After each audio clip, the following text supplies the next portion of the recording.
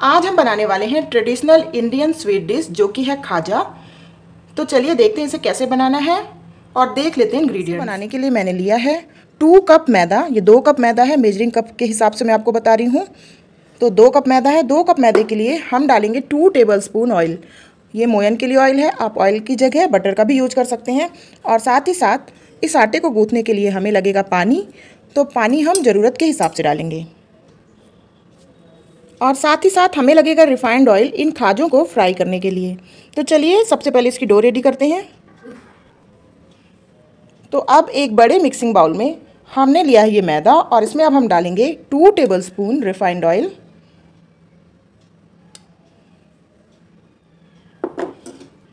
और इसे हमें इसमें अच्छे तरीके से मिक्स करना है हाथों की सहायता से।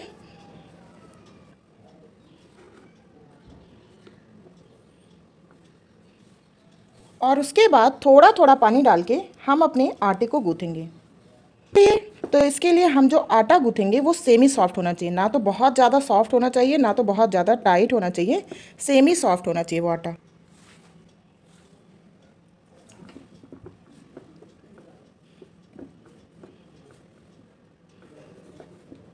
थोड़ा थोड़ा पानी डाल के हम अपने डो को रेडी कर लेंगे।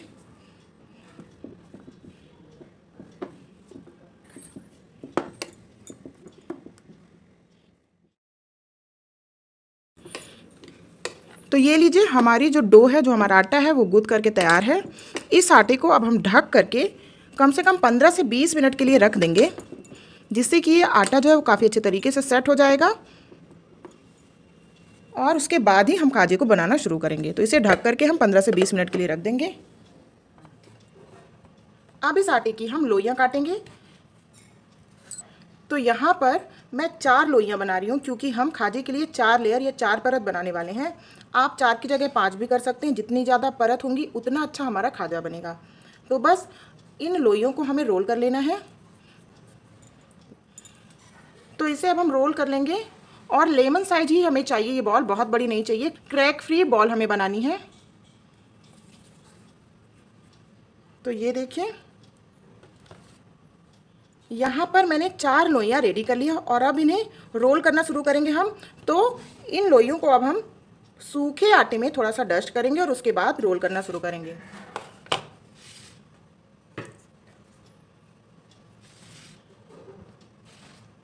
तो बस अब इसे हम बेलेंगे, इसे हमें पतला बेलना है।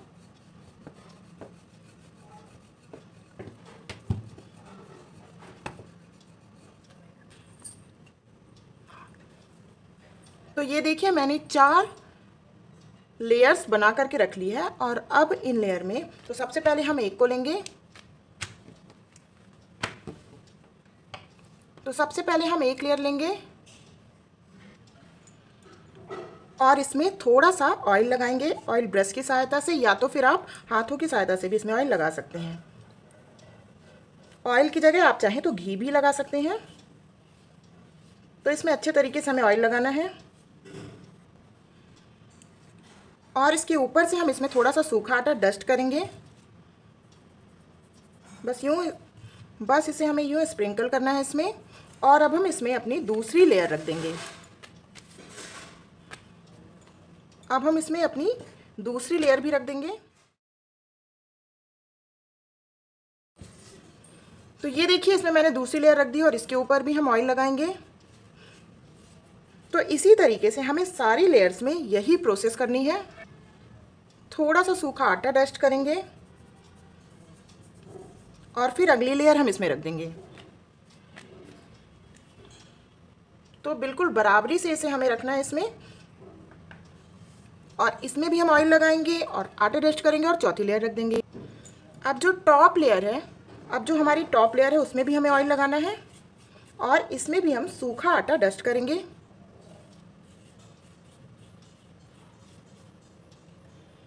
और इसमें भी हम सूखा आटा डस्ट करेंगे।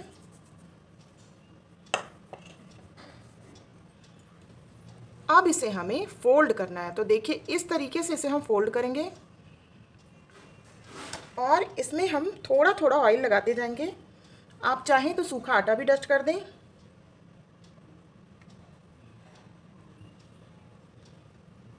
थोड़ा ऑयल लगाएँगे। थोड़ा सा आटा डस्ट करेंगे। इससे क्या होगा कि हमारी जो लेयर है, जो परत है, वो अच्छे तरीके से खुलेगी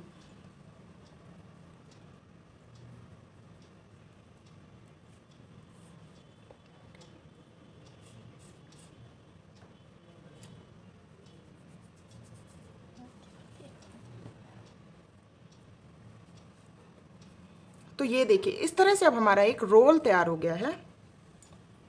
तो अब इस रोल के हम छोटे छोटे पीसेस कट करेंगे।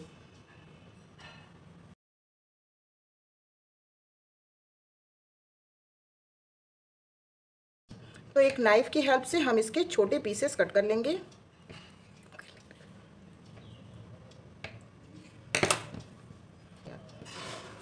तो ये देखिए, हमारे सारे पीसेस कट हो चुके हैं और आप देख सकते हैं इसकी लेयर इसमें बहुत सारी लेयर आने वाली है। अब इसे फिर से हम थोड़े से सूखे आटे में कोट करेंगे और उसके बाद हल्के हाथों से इसे हमें थोड़ा सा प्रेस करते हुए रोल करना है। इस साइज़ का बहुत ज़्यादा प्रेशर नहीं डालना, नहीं तो हमारी जो लेयर्स हैं वो सारी चिपक जाएँगी। इसी तरीके से हम अपने सारे खाजों को रेडी कर लेंगे।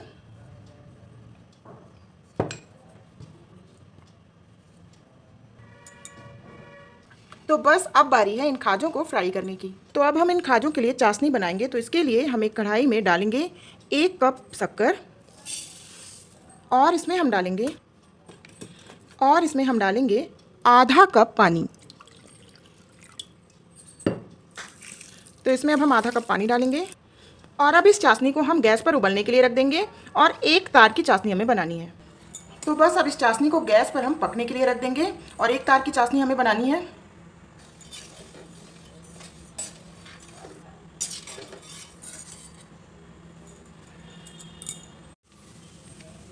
तो अब बारी है इन खाजों को फ्राई करने की। तो कढ़ाई में मैंने तेल को गर्म होने रख दिया है और उस तेल में अब हम अपने खाजों को डालेंगे। तो तेल हमारा गर्म हो गया है और मीडियम फ्लेम पे ही हमें खाजों को फ्राई करना है। बहुत ज़्यादा हाई फ्लेम नहीं होनी चाहिए। तो कढ़ाई में हम चार से पाँच खाजे डालेंगे।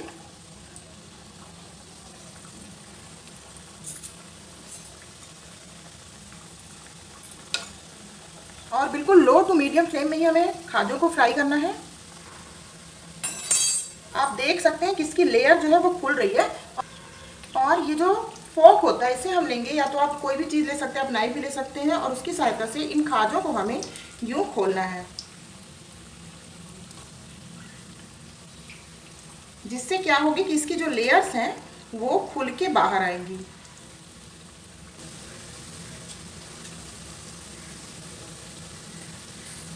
तो इस तरीके से इन खादों को हम खोलते जाएँगे, जिसकी, जिससे इसकी जो लेयर है, वो अच्छे तरीके से निकल कर आएँगी।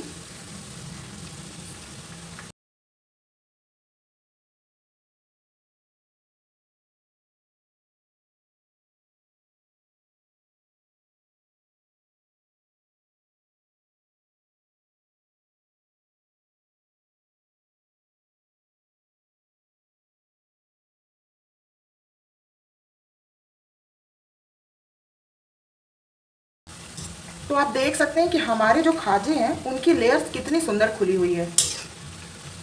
तो लेयर और ज़्यादा चाहिए तो आप जब भी लेयर बनाएँ तो आप जो रोटी या पूड़ी बनाते हैं, उसकी क्वांटिटी बढ़ा सकते हैं, आप पाँच कर सकते हैं छः कर सकते हैं। यहाँ पर मैंने चार ही रोटियों से बनाया इसे। तो अब इस खिले खिले परत वाले खाजे को हमें टिश्यू पेपर में निकाल लेंगे। तो ये लीजिए, हमारे सारे खाजे फ्राई हो चुके हैं, और अब बारी है इन्हें चाशनी में डालने की। तो अब इन खाजों को हम चाशनी में डालेंगे। और चाशनी हमारी बहुत गर्म नहीं होनी चाहिए, ठंडी ही होनी चाहिए रूम टेम्परेचर पे आ जानी चाहिए ये।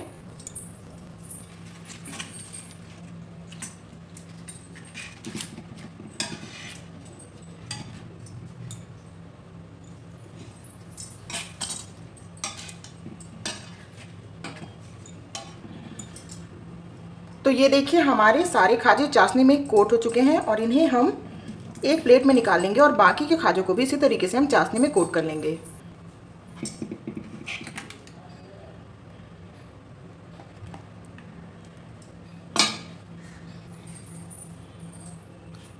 तो ये लीजिए, हमारे सारे खाजे बनकर के तैयार हैं। आप सभी से ज़रूर ट्राई करिएगा। Thanks for watching